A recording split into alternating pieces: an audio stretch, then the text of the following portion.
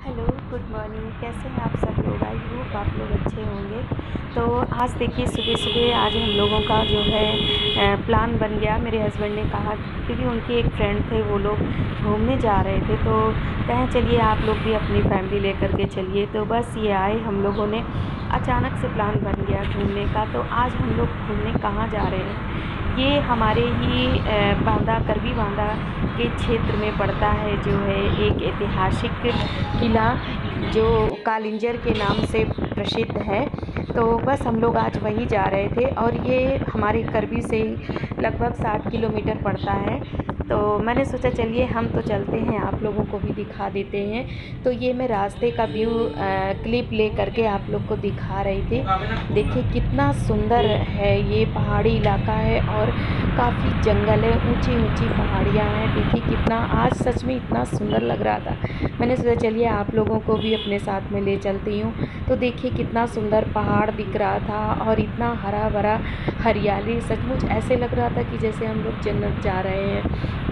देखिए खेतों में पानी भरा हुआ है और आज इतनी ज़्यादा बारिश हुई इतनी ज़्यादा बारिश हुई थी और मौसम इतना ठंडा हो गया था कि क्या बताएँ। देखिए कितनी सुंदर सुंदर पहाड़ियाँ बहुत ऊँची ऊँची पहाड़ियाँ और ऐसे लग रहा था जैसे बादल उसके ऊपर गिरा हुआ है एकदम से और सचमुच बादल एकदम गिरा हुआ था पहाड़ के ऊपर।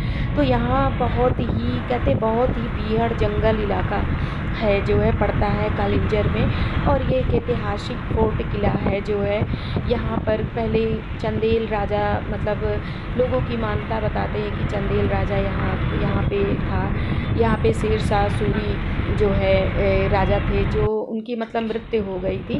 तो ये देखिए कितना सुंदर व्यू है एकदम पहाड़ के ऊपर बिल्कुल बादल बिल्कुल जैसे लगता है जैसे हाथ में पकड़ लीजिए इस तरीके का बादल छाया हुआ था।